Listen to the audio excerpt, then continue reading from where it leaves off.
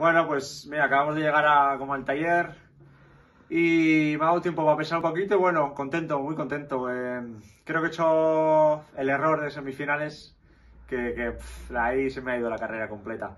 Pero bueno, creo que hay que ser bastante positivo, he luchado bastante, he corrido muy bien, yo creo. Y, y bueno, positivos, positivos. Mañana nos vamos por los fuegos con muy buenas sensaciones. Así que con muchas ganas de competir ya allí.